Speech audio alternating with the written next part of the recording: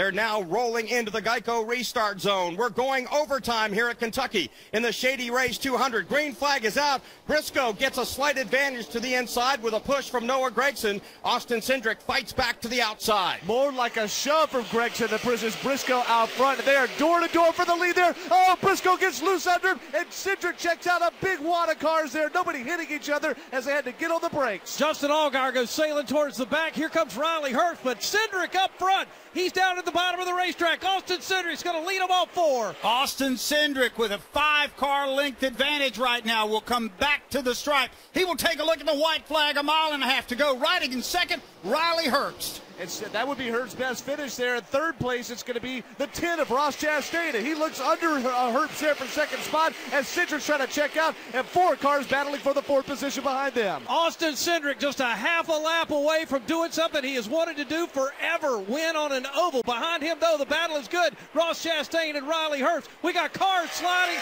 down the backstretch, but here comes for the win. Down out of turn number four, a bridesmaid twice in 2020. Austin Cindric finally gets his first win. He wins the Shady Rays 200 here at Kentucky Speedway. And I think what happened back there, Justin Allgaier was involved in a wreck along with two or three other cars. Allgaier's car made it almost a half a lap to go before it turns into a mangled mess. That thing is tore up, Doug, and he got really shuffled on that on the back that restart there, and they got cars that's sitting in the middle of the racetrack here. Really tough way to finish for a number of cars. Also involved in that wreck, Timmy Hill and Ronnie Bassett Jr., who had run top 15, top 20 all night and were on the lead lap.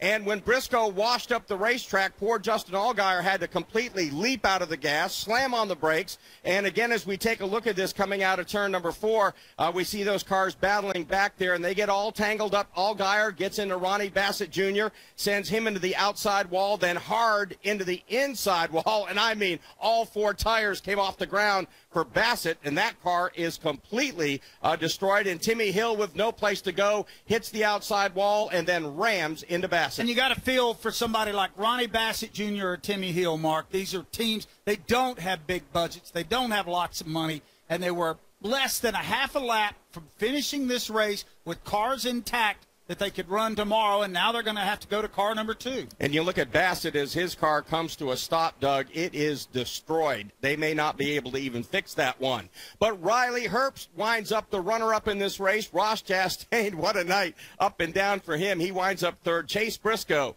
finishes fourth. Anthony Alfredo, great run for the rookie driver for Richard Childress Racing in the Alsco Chevrolet. He was fifth. Michael Annett sixth. Uh, Justin Haley. And what about Kyle Weatherman? Look at this. He comes home eighth. Ryan Sieg gets a ninth place finish. And from one lap down after he was wrecked by Ross Chastain, Brett Moffitt comes back to finish 10th.